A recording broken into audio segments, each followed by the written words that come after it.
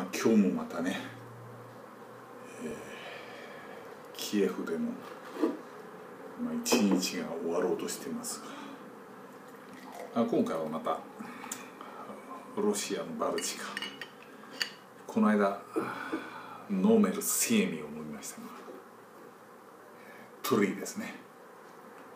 バルチカ。3番これをいただいてます。お味はどうでしょう？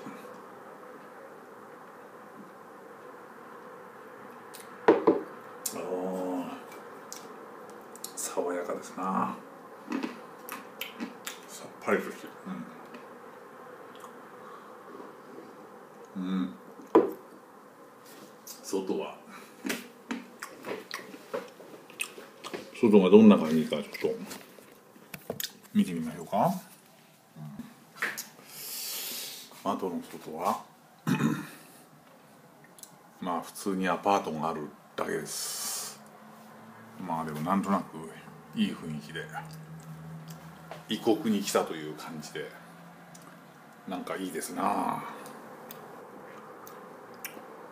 うん。軽い味です。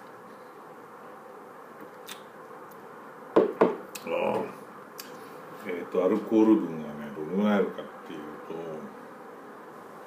と 4.8? なんかパーセントのところ適当に読んでるからわからないね。まあ普通のビールっぽいですけどね。あああこれだ。4.8%4.8% まあ5%ぐらいです